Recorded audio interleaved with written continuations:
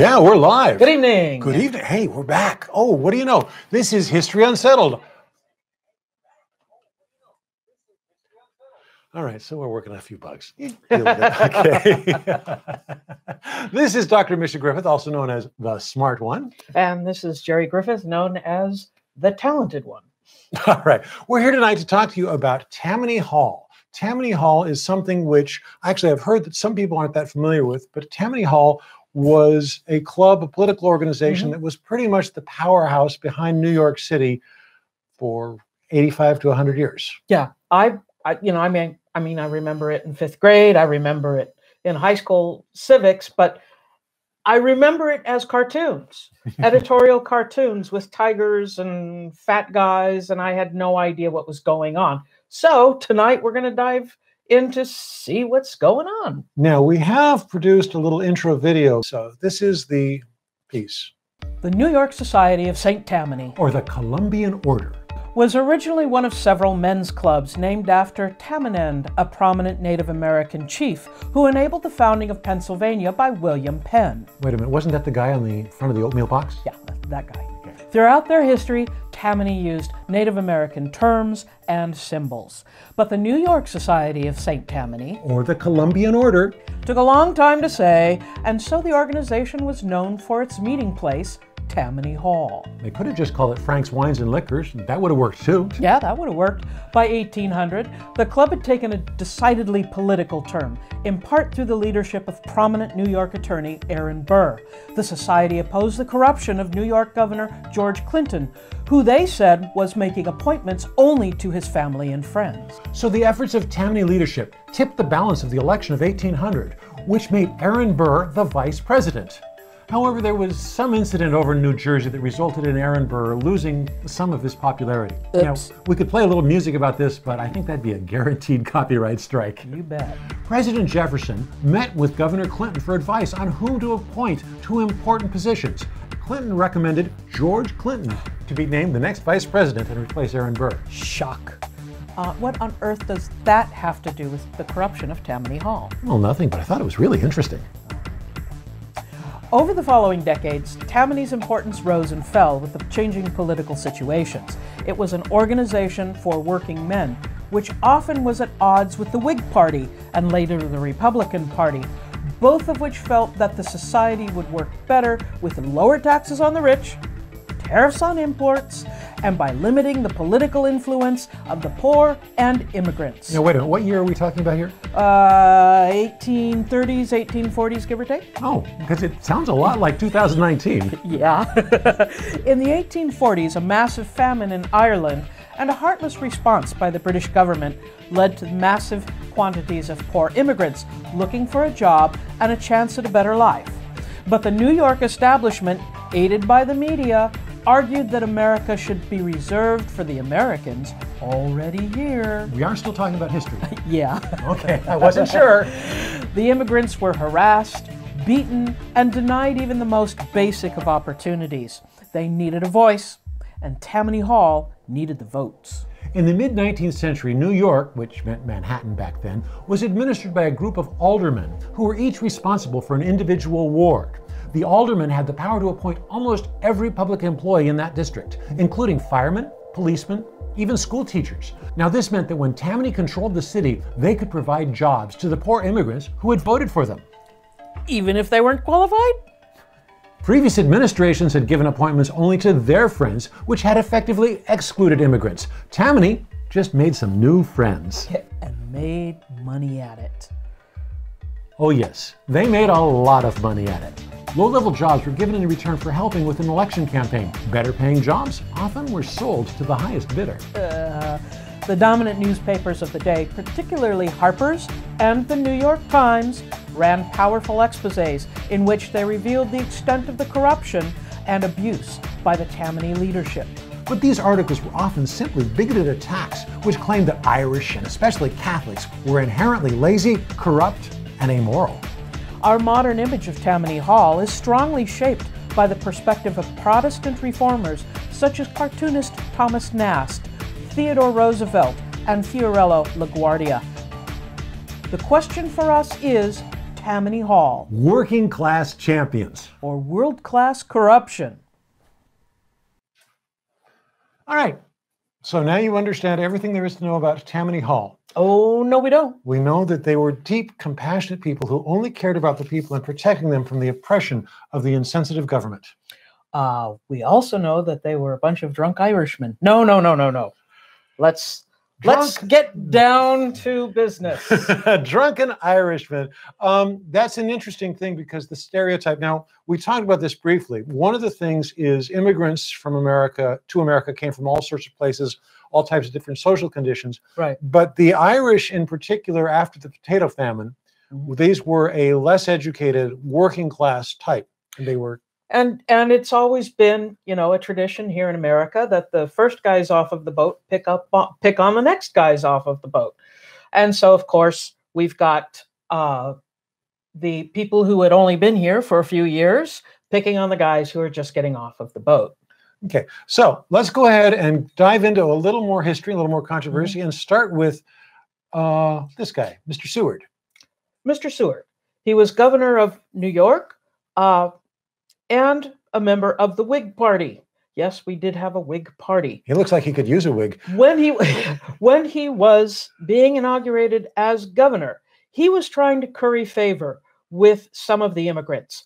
And so he invited foreign-born citizens to petition the public school for public school money to support parochial schools with the idea, the stated idea that he was hoping that these new immigrants were going to educate themselves. Now, wait a minute. Are you saying that he wanted government money to go Government money. support religious schools? Right. I have a problem with that today. It's Yes. 150 years later. Yes, and New York City had uh, a uh, public school society fund, and he was encouraging the uh, Irish immigrants and the various other immigrants to go and uh, try to get funds to open up parochial schools. Now, okay, we, as we know, Now, oh, also, the population that was here, they had plenty of parochial schools, mainly Episcopalian.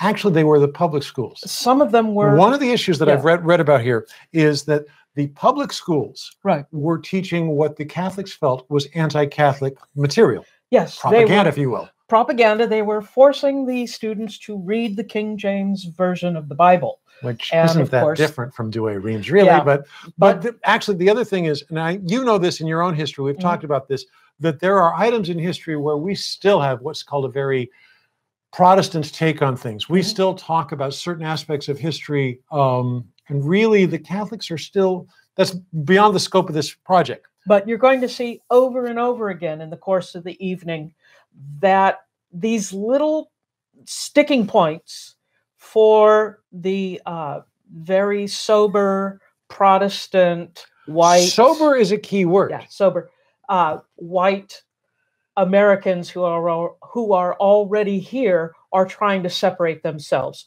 from the Irish, the Catholic, the Germans, the Slavs, the various other people who are coming here. But especially later. the Irish because they came in one big wave. right. And So Governor Seward uh, makes this offer to to the uh, various groups to go petition for the money, and of course, New York City's trustees of the Public School Society turns down their requests.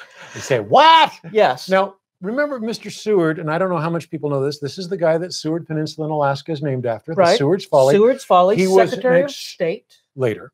Yeah. He was an extreme abolitionist, extreme abolitionist. passionately abolitionist, and he was during the night of Lincoln's assassination part of the conspiracy.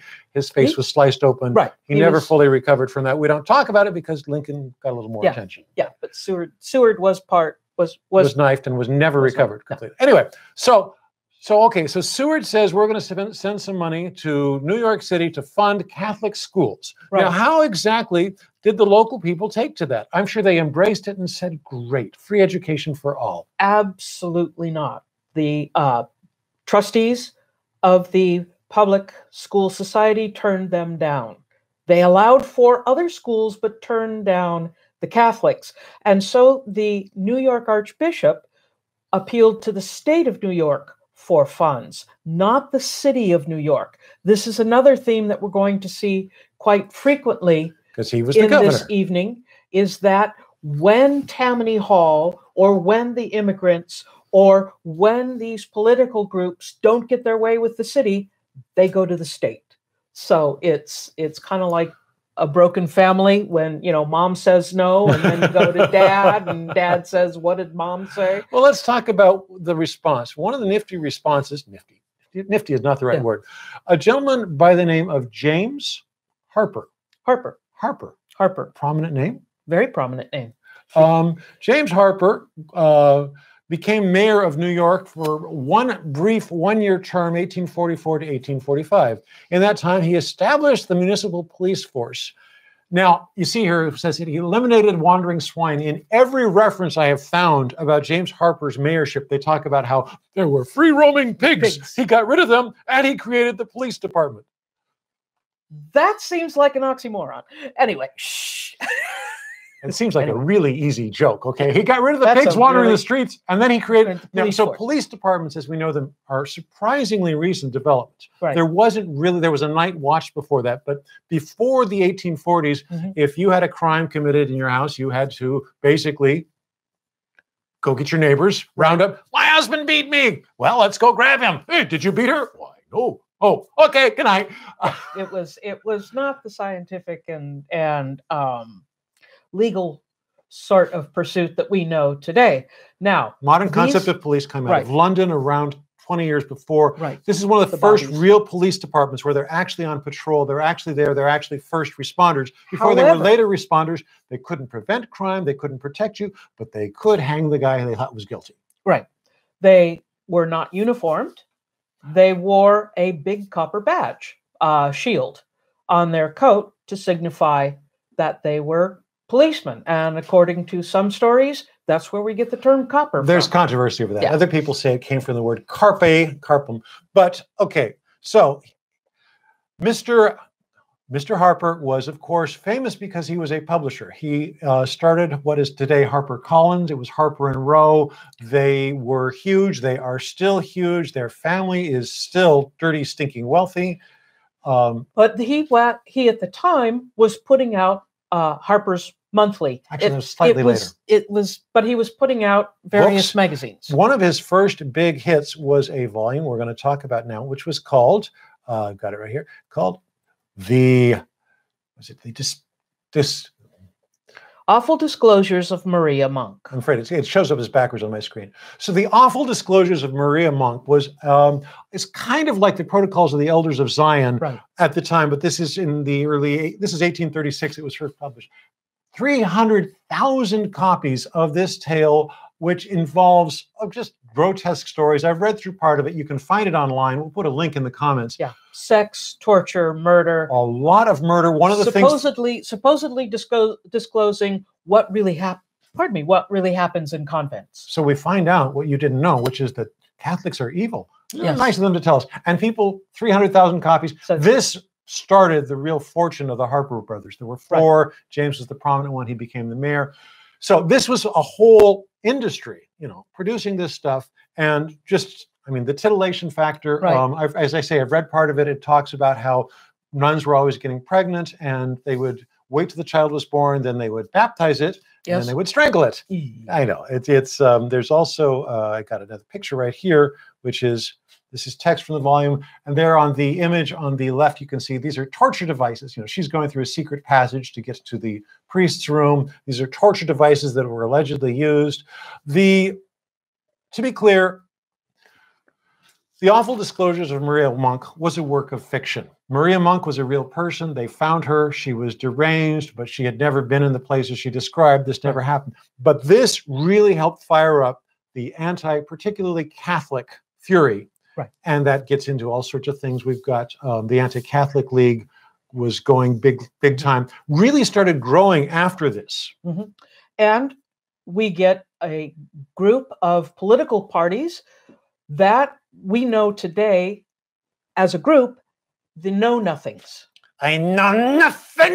Yes. You were waiting for that joke. You've been waiting all day for that joke. Sergeant Schultz joke. Yes, but they were various nativist parties, meaning that they were highly anti immigrant. Nativist, in fact, Native American had a very different meaning back then. You bet. I'm a Yeah. Native American means I was born here, Mhm. and I can be mean to the guys Who got here getting off the ten years after I, Right. you know, it's. but um, they but they had basically uh, for about a decade a decade and a half they had political candidates they ran them in all sorts of elections and a few were uh, a few were nominated and elected it, they were coming to the fore at a particular time when the whig party was breaking apart because of the issue of abolition Yes, which the Republicans came along with. By the way, we've got a comment in the live chat Mhm. from somebody referencing the film The Gangs of New York. Which, we'll, we'll get there well, I, I want to mention that I've read the book, The Mhm. Gangs of New York, the film. The overview is correct. The details are balderdash. Um, Yeah. Bill the Butcher died 20 years before Boss Tweed came to power. They didn't know each other. He never Right. killed anybody. Those are minor details, but the subtext and the Bowery Boys versus the Dead Rabbits. What a name. Hi, I'm a dead rabbit. Oh, good. I'm a dead rabbit too. Um, that stuff's pretty real. And, and we'll we'll get to those in a minute. But yes, that was part of the Nativist Party movement. Bill the Butcher or William Poole, uh, which was his real name, was one of the Nativist candidates. He was an important figure in the in the uh, American Party, the no no there no nothing. but he was a Bowery, but he was a thug. but he was a Bowery boy. He was a thug. He was an enforcer. Uh, he These are- died in a barroom fight. These are the Bowery Boys actually wore uniforms. They were amongst the better dressed street thugs. They wore firemen's uniforms. Firemen were volunteers, uh, although they were uniformed and they made money uh, by going out and fighting fires. And the Bowery Boys wore these uniforms as their gang symbol, along with stovepipe hats, those tall top hats. That was Okay. their gang symbol. I just wanted to show this is something I found. And again, we want to do deep dive in the archive. The item on your far right there, the KN ticket, no nothing ticket, is essentially a sample ballot that was printed out. Technically, this was in Philadelphia, but it was the same movement. And on the bottom, there are instructions that says tear off the top and bottom before you shove this in the ballot box. So nobody will know we told you who to vote for. Right. So Um, pre-printed printed ballots that they would hand out, and the know nothings could vote uh, as a body. And this is somewhat important because as we're going to talk about in a few minutes, there was other people were stuffing ballot boxes. There was other things going on before Tammany got involved. Tammany got involved. We're not going to deny that. Okay. Right. Um, Right.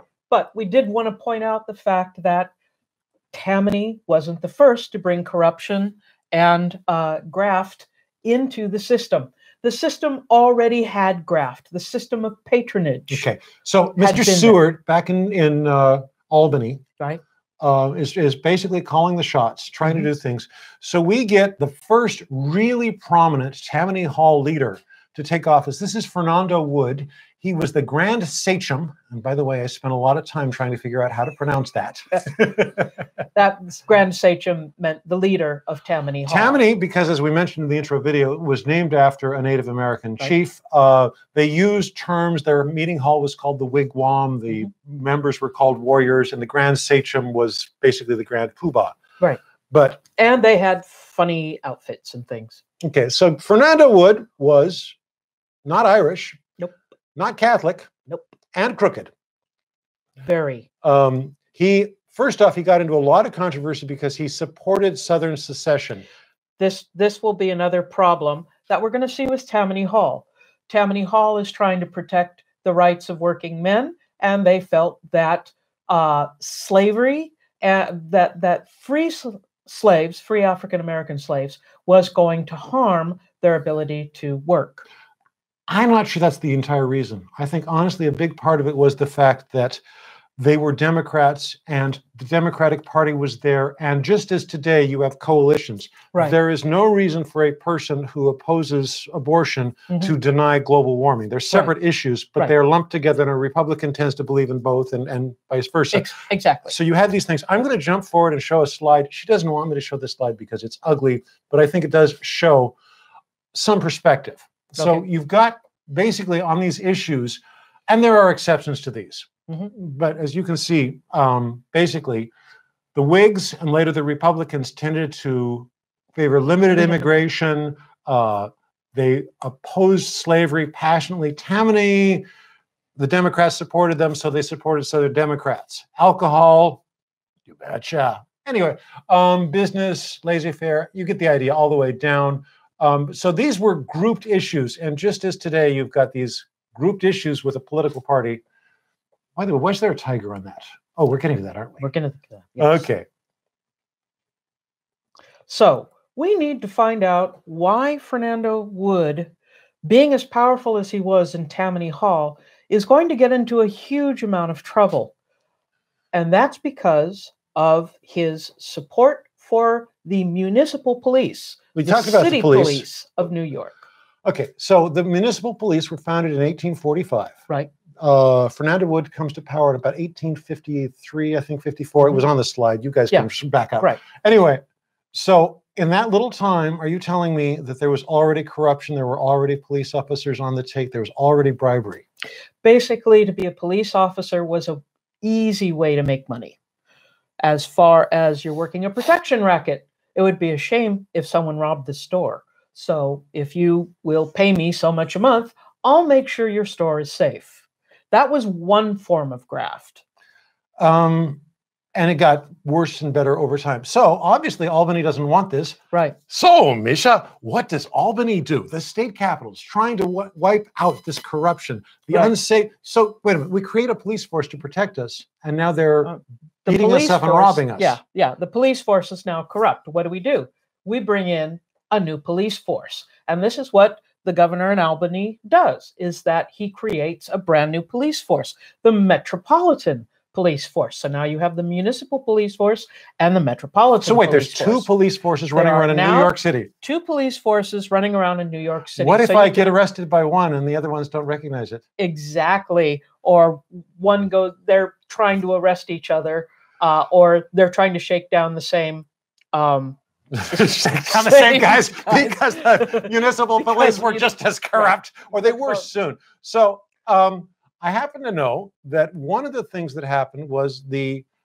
Fernando Wood refused to recognize any authority from Right. the municipal police. and Fernando Wood had Metropolitan Police. some control over the law courts. So if the law courts and the district attorney are not going to uh, authorize the arrest, what do you do? So the governor did the only logical thing. He sent the metropolitan, which one's which? Metropolitan police. munis- He sent the municipal police in No, no, no. Metropolitan They police. sent for the ones state. appointed by Albany in to arrest Fernando Wood. Yes. So arrest Fernando Wood. Arrest the municipal police. And that started a riot. Yes. and so the New York police riots of 1857 become a real thing of the municipal forces versus the metropolitan police. Uh, thankfully, there wasn't a lot of gunplay. Technically, there were there were like 30 injuries. Nobody was killed. By New York standards, it was a relatively mild riot. But you had this scene on the front steps of City Hall of one group of police chasing down another group of police. You're under arrest. No, you're under arrest. No, you're under arrest. Yeah, it must have been Keystone Cops time. Um, wonder if that's where they got the idea. No. Okay. So anyway, so the municipal, the New York Albany appointed police right, basically take control eventually. The Supreme Court backs them. right. and they are never corrupt. And New York never had corrupt police officers since then to this very day. They're eh, Wrong. Sorry. All right. So because what's going to happen is that it's clear to quite a few people in the city that law and order is starting to break down. And so, about a month, month and a half after we get the um, we get the police riots, we start getting some very interesting other riots. this is like like, the two weeks Rabbits. later, and the Dead Right, Rabbits right. riot was a big one. There were a lot of people killed. There were Um, several people killed, but it was the Dead Rabbits were the Irish Street Gang. I'm not quite sure why they called them the Dead Rabbits. They used it as an emblem. I know that they, Oh, they waved okay. it around. and the nativist Bowery Boys, and of course, you know, we we even uh, the the Bowery Boys were hanging around, or at least there was a uh, uh, uh, Wasn't There was a series of bad movies in the Series of 50s, bad movies, but I yeah. don't think there's any connection. No, I Um, don't think so. But it was there they were a gang. Bill the Bump, Bill the Butcher was a leader of the Bowery Boys. Right. He was a nativist, played by an Irishman. but um, anyway, so that was really nasty. So we've got these clans growing. We've got basically these forces brewing against each other. You've got law and order, reform, respectability, and no alcohol versus these immigrants, these drunken immigrants fighting, protect, keep New York for the New Yorkers, keep America for the Americans versus these guys who are like, well, I live here. I'm going to stay here. Yeah, Thank you very here, much. We're staying and we're not leaving. So we have to start dealing with this. But Fernando Wood, in particular, did reach out to the Irish community and say, "You guys can come here. You can vote with us. You can vote as many times as you like, and we, sorry, and we will incorporate you and do it." This is Harper's Magazine, and I wanted to jump into this. Harper's, which We, is we mentioned John Harper earlier. James. James Harper's Harper, is, uh, you know, this is yes, the still the magazine that's still published. It is Harper and Row and Harper and Collins, which is still printing today. Um, they, by the for the record, on their website, they really whitewash the abuses Mm-hmm. of James. These drawings are from a little later.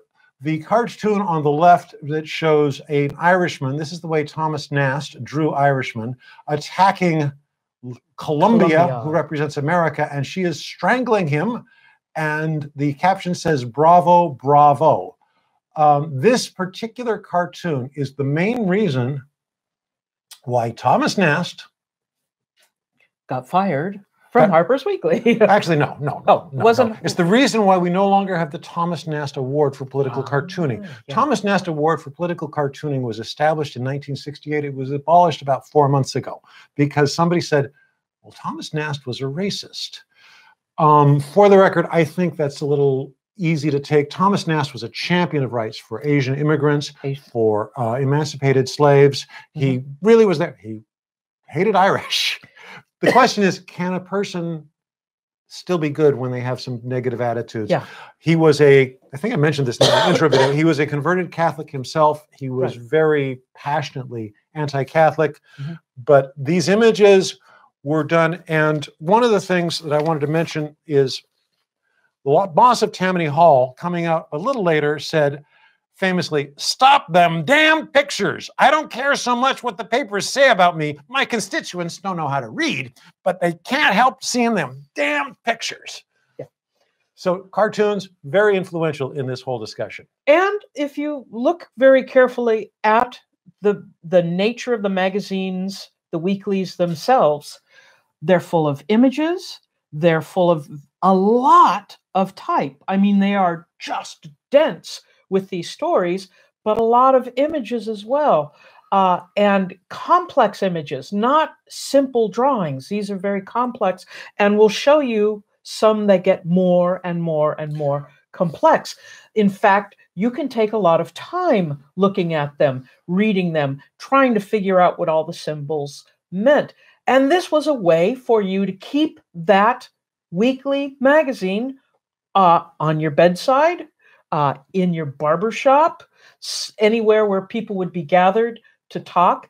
And it was important for people to have that for an extended period. We did have at this time already, we had uh, dueling media, kind of like Right. today you've got Fox News and MSNBC. You did have the Irish Times, which was a very pro Irish newspaper. but you did have the New York Times, which is a very anti Irish paper. They, they actually the were, and particularly they were anti Catholic at the Right. time. But anti Catholicism was very big in this country. Mhm. There was um, uh, Samuel Morse, of course, the inventor of Morse code, famously organized anti Catholic protests. Right.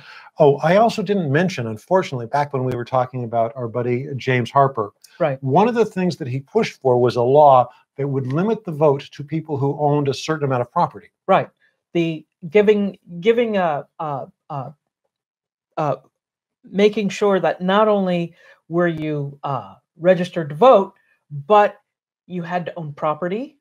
And they were trying to push through rules such as you had to live in the United States for 21 years. Even though you might have been naturalized, you had to live in the United States for 21 years before you could vote. So they were trying to minimize the vote. Um, this is uh, Oops, that's not the one. That's Nope, draft rise. need to go I'm sorry, I, I didn't mean to do that. Let's go back live. We have to show- go. We have to show them the um, the one particular um, oh, uh, the- one ad. the one ad. Yep. All right, sorry. Uh, keep them busy while I find it. Okay. um, there. Okay. No, little snippets. Uh, Okay. The image on the left. That's a Thomas Nast. Sorry, on the right. That's a Thomas Nast cartoon. He often drew Irish people as apes or gorillas. Yeah, gorillas, dark skin, uh, heavy, heavy chin. They're always uh, holding a shillelagh, a cane with them, um, and of course, they're always drunk. Uh, there's always liquor involved. But one of the things uh, that we did find, uh, I don't know if, what newspaper this was from, but I believe that's in the Times. you we just Yeah. Was uh, ad uh, one ad from the New York Times that says nurse wanted middle-aged woman capable of taking care of two small children. She must be a good plain seamstress. No Irish need apply. Apply at 11 East 14th Street between 10 and 11 o'clock a.m. So yeah, no. Irish need apply. There was actually a uh, scholar in 2002 published a paper. This is a side note, but it's an interesting. Hey, we're, we're here to be entertaining. Yes. About a guy basically said that the reports of anti-Irish prejudice were exaggerated.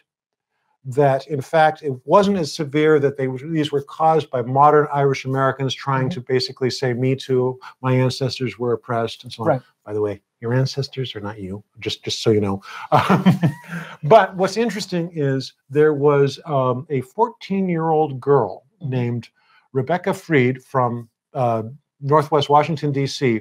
who went in, found the research. She said this doesn't sound right, and she went in and dug through old want ads, went through paper after paper, probably went to the Library of Congress because it's here in town. Right. And she basically got a scholarly article published saying, uh, no, it's real. And Yeah. the consensus now among scientists is, yeah, there was very real, very severe anti-Irish prejudice, and these people desperately needed somebody to speak for them. Right. Which is where our friends at Tammany Hall came in.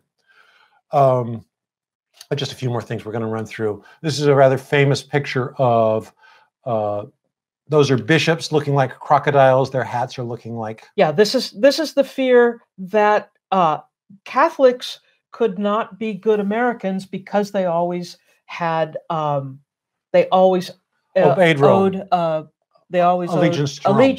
to rome and to the pope not to the president and the and their fellow um, fellow americans This is an image of a naturalization program organized at Tammany Hall. This is from 1856, which is surprisingly early.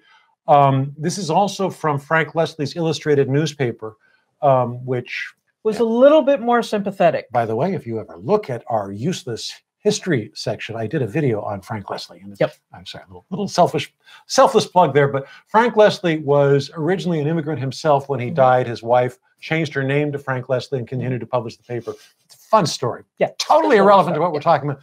But the thing is, if you go back and you look at this image we were just looking at, you can see that there's a bouncer basically protecting people as they're registering, basically getting naturalized so that they can eventually vote. Um, what could you uh, share with us that story about John Kelly and uh, Mike Walsh? ah okay let me get my notes Okay, well, she's gonna. Sorry, I'm gonna. Maybe we'll skip forward a little bit while she prepares that, because um, so the voice of the Irish, Tammany is stepping into this gap, but Tammany has no controls, so they are running the police force. But still, who else are the Irish going to turn to? We get into this gentleman named William Tweed. Most people have heard of Boss Tweed. Mhm. Uh, Boss Tweed was originally a fireman, and he was also scottish he was a, actually he was American born of Scottish Right. ancestry. Um, Boss Tweed was a bully. Yes There's no question. He was a big man. He once Very said his success was because of his size. right He was a fireman, Mhm. and he was very famous for being the first to a fire. Right. And if he wasn't the first, beating up the other fire departments. yes there are stories told, these are probably exaggerated, right. of a house is burning down and the firemen won't put it out because they're fighting with each other over who gets to put it out. Right. Uh, but Boss Tweed, uh, his fire department had a uh, a uh, Tiger tiger as an as their emblem. And so he carried that to Tammany Hall. So this is why Tammany Hall and Tammany Tigers uh, are joined together. so you will often see the tiger became the shorthand for Tammany Hall. Right. Um, it's also why we uh, have a copy of the Jungle Book on the shelf behind us. Uh, oops, but you can't see it. We got it. We're cropped Right. too tight. Hey, Bruno, can you fix that? He's off. Yeah, Bruno, what are you going to do? All right. So where did we leave off? We got through. We were getting into Boss Tweed. Some people said Boss Tweed was a little tiny bit corrupt. Um, that's and other true. people said he was really, really, really corrupt. Um, but Tweed wanted to take control away from Albany, and he did. Mhm. Um, oh, did I skip past the draft rights? Yes. Oh, okay. Well, We'll get back to we'll it. come We'll back back to the draft rights. Sorry about that, folks. Uh, once once Boss Tweed gets a whole uh, bunch of his Tammany people running New York, and they're in very uh, elevated positions, jobs like the chamber Chamberlain's office. The Chamberlain was the guy who found banks to take money, the funds that the city had taken in in, in fees and taxes and all that. So they had to deposit it somewhere. So it was this guy's job to find banks in which to deposit it. And before Tammany had kind of taken it over, the job allowed for whoever was in the office to skim right off the top. And it was not unusual at that time that these guys were taking home $200,000 per year. in the 1860s and 70s, Yes. That, Yes. that's just an obscene amount. Of, a house obscene cost amount like six or seven thousand dollars. And so when Boss Tweed and his group take over New York at this moment, the Sweeny, who is the gentleman who becomes the Chamberlain, uh, changes the job so that he takes a flat salary. So they start doing some interesting reforms. But Boss Tweed has some bigger and better ideas. He will take some uh, reports say 600,000, some reports say a million dollars. A million dollars in Albany. 1868. Right. And he will lobby for a new charter for the city of New York uh, so that they could write their own laws, uh, And appoint format their own format their own government, et cetera, et cetera. So uh, Boss Tweed is going to be very generous with this sack of money, and he will get Albany to put forward what will become known as the Tweed Charter. And it's a reorganization of the city of New York. And what they seem to do is simplify the government in New York. There are fewer jobs uh, uh, as far as the people at the top, as far as the administration. However, what this new charter did in order to get rid of some of these jobs was to get rid of the checks and balances on the very high ups of the city. And of course, these were all Boss Tweed's people. And so the city of New York, even though they've got a new charter, even though they've got a bunch of new rules, even though they seem to be in the mood for reform, are actually becoming far more corrupt. What was at stake was not just a handful of people at the top making money. What was at stake was 12,000 jobs that had to be filled by political appointees. And that's the genius of Boss Tweed. Okay. So Boss Tweed manages to take control.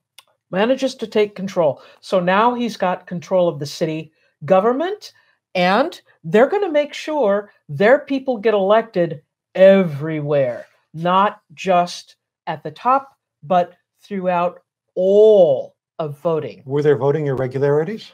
there were lots and lots and lots of voting irregularities. There were plenty of people being shut out from the vote. There was threats of violence. You can see this one image of Tammany Hall representatives standing outside the polling place with a pile of rocks. Well, we just happen to be holding the rock. This sounds familiar. These, we've heard Yeah. these accusations We've more recently. these, yeah. Now, the image on the left is actually a NAST cartoon, which is, um, and this is not an invalid point. It is a government official telling a Native American, uh, in the modern usage of the term, that he's not allowed to vote while an Irishman is getting to vote. Right. And the idea here is that that's outrageous. How can this Irishman vote, but you can't? Right. Well, I think they should probably both be allowed to vote. Yes. But this was part of the attacks on the Tammany Hall and the voting system. And and if- one of the one of the other ways they uh, cheated at the ballot box was something called repeaters. In that something called repeaters. repeat, yeah. Repeat. uh, Easy joke. Yeah. Basically, when African Americans would go to the polls to vote, they would find out that someone had already voted in their name. Remember, this is a time before photo ID, that sort of thing. And it was Tammany representatives who were working the polls. So these uh, these uh, Tammany representatives would be coming in very, very early in the morning, and the poll workers, Tammany poll workers, would allow them to vote. By the way, I Uh, need to cut in here for a second and just point out this is an image of, you know, he says basically vote early and often. Um, if the artwork looks familiar, that is by an artist named Theodore Geisel, Dr. Seuss. Dr. Seuss. So this is obviously not really from the period we were talking about, but I love the picture, so I wanted to show it. Yeah. The yeah. Now there's there are all sorts of interesting stories about voting regularities as well. Uh, not that they all check out. There's one story that uh, the Tammany members would grow their beards out before election day, and then they'd vote with beards, and then they would get the beard cut off and just have the mustache and vote with just the mustache and then be clean shaven. I don't And buy so it. that the way they could vote I don't buy times. it. I don't buy Yeah, it I because don't- it don't- wasn't necessary. The poll workers were Right. often on the take. Right. There wasn't, um, and you're not going to fool that many people anyway. There are a couple other stories. There was one gentleman who bragged that he had voted 17 times. Right. And there's a wonderful story. There's a book that we're going to include in the uh, description below, written by George Plunkitt called Plunkitt of Tammany Hall, who was in the uh, very beginning of the 20th century, and he was shamelessly unapologetic. But he told the story of a poll worker who Mhm. greeted a man who came in. said, "What's your name, son?" He said, "My name is Thomas O'Malley." And the poll worker said, You're not Father O'Malley. To which the young man said, The hell I'm not. and remember when remember when the president was complaining about Tammany Hall and he gets on the tweet and he says, you know, these Democrats could have gone in and voted and there were all of these illegal aliens coming. Oh, wait a minute. That wasn't Tammany Hall, was it? No, that wasn't Tammany Hall. That was Okay. uh, last year. So one of the issues we have um, with these stories, and it's a very real issue, Right. is I question some of the extents of tales of voting irregularities because it wasn't necessary. Right. Because, as we've said, there was nobody else speaking for these poor Irish immigrants and Jewish immigrants and uh, Slavic immigrants and German immigrants. German immigrants. There was nobody speaking for them except for Tammany Hall. And there are countless stories I find of the ward heeler. So, as we said, New York was divided into wards. The ward heeler can get you a job. A guy gets drunk, gets in trouble. His mom goes, talks to the ward heeler. The ward heeler goes down and talks to the, jail. We work something out. We take care of you. So these they were part of the community Right. and they were a fixture. And I think and and they took care of law and order in other ways too. Tammany Hall ran bail bonds so that uh, Okay. they made a huge. I want to I want to jump in here and bonds. say yeah. it seems like that's the real corruption of that may have come later, although Tweed was plenty corrupt. Yeah. Tweed was eventually uh well, we'll get there. Yeah. Shall we um okay, so anyway, my, my point is I really think that there were enough people voting legitimately for them. Right. And we see when you look at the time frame, when you draw a chart, there was Mhm. Tammany, then a reformer, then Tammany, then a reformer. It went back and forth and back and forth. But these reformers, they weren't just saying clean up the system is a nice one to have. Right. But a big part of what they're saying was clean up the system and put me in power. Right. So it, it was it was all about numbers. That's what they appreciated, uh, and that's what they worked for. Okay. So let's talk a little bit about um, Some of the real abuses that the Irishmen that the Irish were facing. really I wanted to get into I wanted to get into the story of Oh, okay. corruption. so these are also cartoons, and the one on the uh, left there, which I actually showed in the intro video, uh, that's you know wholesale versus retail corruption. And basically, that is a picture of Boss Tweed at the top walking out of a bank, and the police officers are saluting him. And the picture at the bottom, there's a uh, bakery, and police officers are beating somebody up. The one on the right is fascinating because you notice that that's an African American behind there. And so the reformers were very pointed out that Tammany police were particularly harsh on African Americans. particularly, and they uh, had a patina of perform of of reform at times that African Americans did not vote regularly Yeah. for Tammany. but they would uh, absolutely crow about the fact that they shut down a store owner because the store owner had sold three cents worth of soap on a Sunday. Laws against Sunday, uh, what was it called? Sabatina- Sabatination. were basically in part an attack on the working class. This is one of the things we find. Reforms, all of these neat ideas were actually in some ways attacks on the working class because office people, professionals worked five days a week. Working people worked Worked six, six. days a week. So your only day off is Sunday. Sunday. And if the stores weren't open, if the saloons weren't open, if the things you needed weren't there, you couldn't get them, then, you know, your life is a little bit more miserable. Uh, and so the the reformers are trying to do all sorts of things to basically keep these people upset. Okay, I'm going to have to drop back, unfortunately, because it's part of our story, and we sort of skipped over this Mhm. issue, which is back in 1863, the draft riots. Now, a lot of there's a lot known about the draft riots. There's a lot talked about. They were in the gangs of New York. Right. Many people know that in 1863, uh, they imposed a draft, and part of the terms of the draft was that if you got a draft notice, you had to go fight for the Union, Mhm. unless you could find somebody to take your place, Right. or you paid three hundred dollars. Right. Now, And to Most of these people did not have three hundred dollars. could have been a million. Yeah.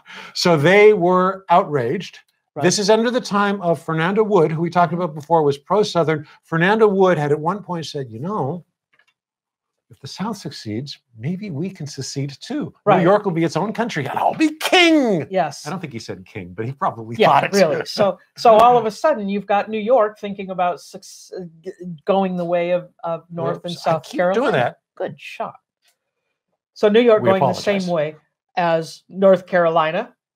Uh, so you had common cause between the Democrats in Tammany and the Democrats of the southern states. because also the time they were willing to help them, and that was the only way they won Right. any elections. The image on the right, it was actually called the Brooks Brothers riot. Yep. And it was um, basically that's the Brooks Brothers clothing store was broken into and torn down. Image on the left is of a lynching of an African American. It's kind of disturbing to look at, but it was a very real part of the New York draft riots. They burned mm-hmm. down an orphanage. They, African they Americans African American freed African. Americans were hunted down. For some reason, there was a little logic there that says, "Why should I have to go to fight for you? You're competing for my jobs," Right. and they blamed the black. And it was horrible. And obviously, this led to Irish people shouldn't vote.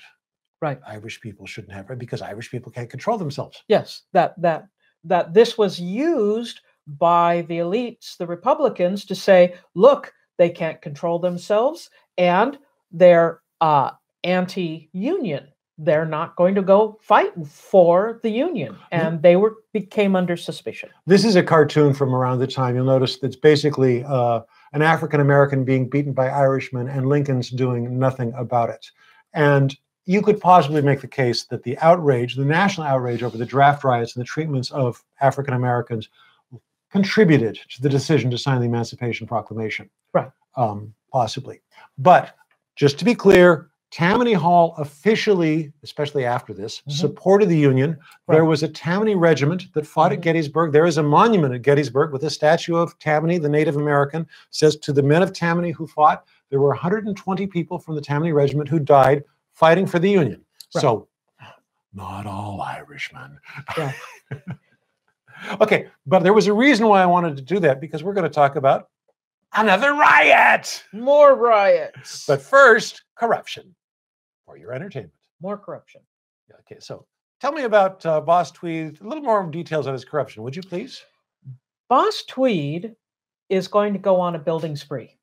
New York, of course, uh, is going to need bigger and better facilities as it grows.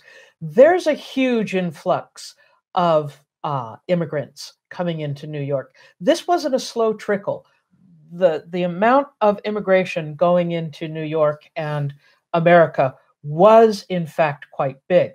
So, one of the improvements that Boss Tweed is going to help put through is, of course, the New York City courthouse. It was started in 1861 and it was finished in 1872 at a cost of something like $13 million. That's their money. That was twice what Seward paid for Alaska. uh, and the some of the examples of expenses for uh, for this building was one carpenter worked for a month in a building that has suspiciously very little wood in it and made $360,000.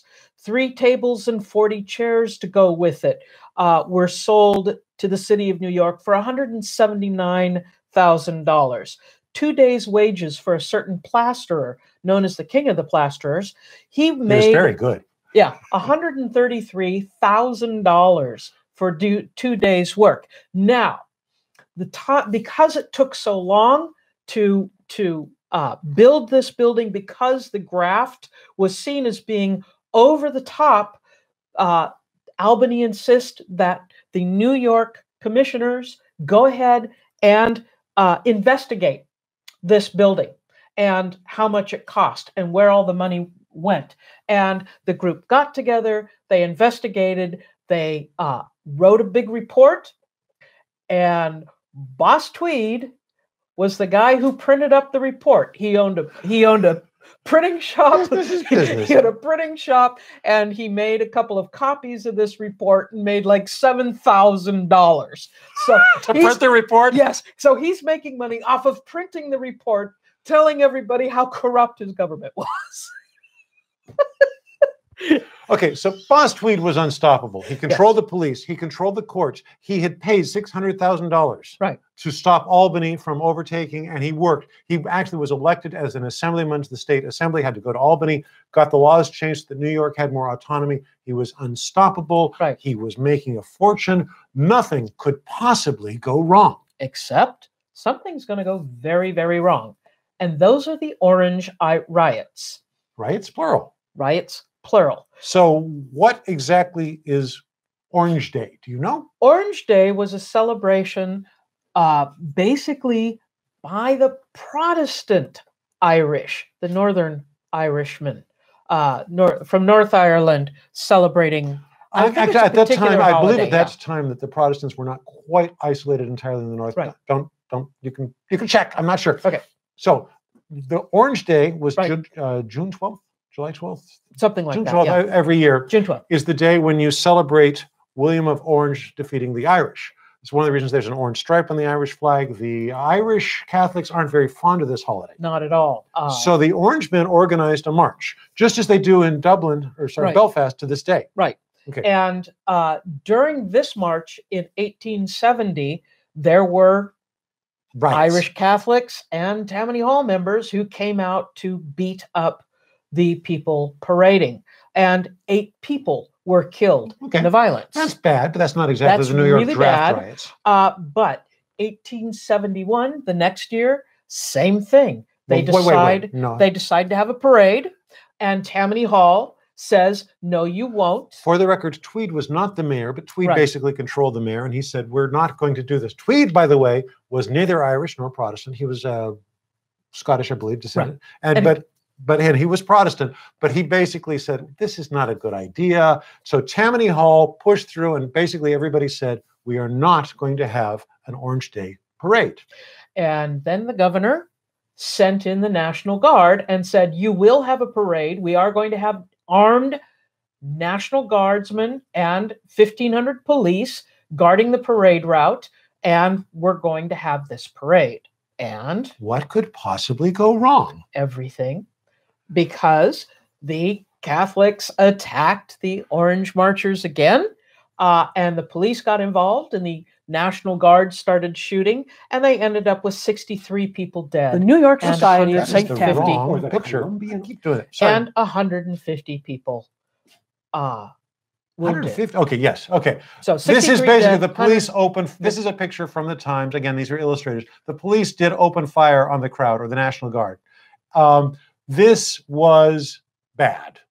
Um, This was the undoing, really, at this moment of Boss Tweed. because he had a clerk working in his office who was outraged about Tweed's response to this. I don't know if he was pro Northern Irish or what, but he basically took a group of financial documents and turned them over to the New York Times. Right. And then the New York Times wrote an expose because they had been anti Tammany Hall all along. He had been anti Tammany. Well, he wasn't going to take it to the Yeah. Irish Times. He took it to the. Next. Okay, took. Okay, so go ahead. Um, And so uh, everyone's facing the fact that uh, something went wrong, and everyone's blaming everybody else uh, and pointing the finger. And of course, the person they finally get is Boss Boss Tweed. Tweed. They arrest him. They uh, take him to jail. They are going to try him, and he escapes. Actually, no. My recollection, he was convicted. He He's escaped convicted, afterwards. and he's okay. He's convicted of corruption. He escapes afterwards. and he goes to Cuba. He goes to Cuba, um, but that's not far enough. He eventually makes it to Spain, where a group of Spaniards happen to have a copy of um, one of Thomas Nast's cartoons, and they identify Boss Tweed from the Nast cartoon. They contact the authorities and they get him rearrested and brought back to New York, where he spends the rest of his rest of his time in prison. Okay. Um, so what happens now is obviously, clearly, the Democratic Party is corrupt. Everybody agrees the Democratic Party is corrupt, and it's up to the Republicans to reform things because Yes. the Republicans were pure as the driven snow. Hmm. That's what really. they thought. Something Yeah. funny happened here, which is actually has nothing to do with New York City, but it has everything to do with what happened. what happens because the Republicans are not going to have clean hands. We're going to see credit mobilier. Oh, that's a pretty word. Yes, everything's prettier in French. Um, the funding for the Transcontinental Railroad. Uh, if you remember back to your civics class, credit mobilier uh, is going to use a whole bunch of very illegal scams in order to raise money. Their excuse was that there was not enough people investing if they just did it legally. So they, they did it kind of illegally. But unfortunately, there was a whole bunch of Republican uh, Republican officials, all the way up to Ulysses Grant and uh, James Garfield, who was uh, Speaker of the House at the time. A whole bunch of Republican politicians were on the tape. Okay, so the net result is they were charged with building a section of the Transcontinental Railroad. Mhm. It cost $50 million. It cost a huge amount of money. Yeah. They charged the federal government $90 million. Right. This is, in my opinion, the biggest, at least inflation adjusted scandal in US government history. Right. It went all the way up to the, the vice president uh, was forced from, uh, General Grant was pretty much denied another term. Right. Um, there's not. It's not clear that he was involved. He was such a war hero. I don't know if they wanted to taint him. Right. Taint him. But um, the vice president, I believe, went to jail. Schuyler Colfax. He yeah. certainly Schuyler got Colfax went to jail. got Yeah. driven off. Yeah. All of these people, and suddenly, corruption is very much throughout the Republican Party, and they've got dirty hands. So it's not looking good for either party. And you've got the Southerners who are trying to fight against uh, um, Reconstruction and their problems with that. So, uh, it- yeah, Yes. Uh, So it starts to get a little interesting. It starts to get a little messy, and we're going to do something really, really mean, Mhm. which is we're going to have to say to be continued. Yep. Because what happens? So here's the stage is set. You've got Tammany Hall is filled with corruption beyond belief. Mhm. You've got the Republican Party has been pushing reform. Yep. Um, reform. Get rid of drinking. Stop working on the Sabbath. freedom for slaves, Right. get rid of Catholics. I was actually close to a Republican plank, Yeah. although they didn't come out and say Yeah. it. All of this, but suddenly the Republicans are caught with more money on their hands than Tammany Hall ever thought about stealing. Right. This was huge. This was very big. So suddenly, where's the reform going to go? Well, one thing that happened is Tammany had a rebirth. Um, yes, uh, Boss Tweed went to prison, but he was followed by John Kelly, Honest John, he was called, Honest John Kelly. actually was an Irish Catholic, Right. Irish American. He was born here. But um, so you got Tammany Hall actually had a regrowth of power after you would think "Oh, the leader goes up the river. Um, you know, everybody knows it's corrupt. It's time for cleanup. But things actually got worse Right. for a period of time. And so and so we're going to see part two now, uh, Taming the Tiger, where we see the Republicans try reform movements that are somewhat successful. and the police set records for bribes, corruptions, and payoffs. All right, so th- that's going to be next. When is that going to be? Next Wednesday. Next Wednesday night at 7 p.m. Eastern, 4 p.m. Pacific. Right. Well, you guys should be at work. Uh, we're going to be back. We're going to continue this conversation. We're going to try to wrap it up, and we're going to try to lead to what I think this story leads to a very fascinating and clear con- conclusion. Right. But the short version of it is if you oppress people, they're going to resist. They're Right. going to find a way to fight back. So we really want to thank you for being here, for watching our show, for making your comments. If you have any questions or if you want to make some comments, definitely go ahead and use our Twitter handle, H Unsettled, at H Unsettled, At H Unsettled. uh, or uh, leave comments in the comment section. You should tell me when you're going to do that. I would have typed it up. Anyway, Sorry. so that's all for now. We will be back next week, which I believe is February the 6th, 7 p.m. Eastern, for Tammany of Terror, Taming the Tiger, Tammany Hall Part 2. I may even change the graphic. We'll see what happens. Good night, everybody. Thank Good- you. Good night, Stay- folks. Stay warm. Don't forget to write.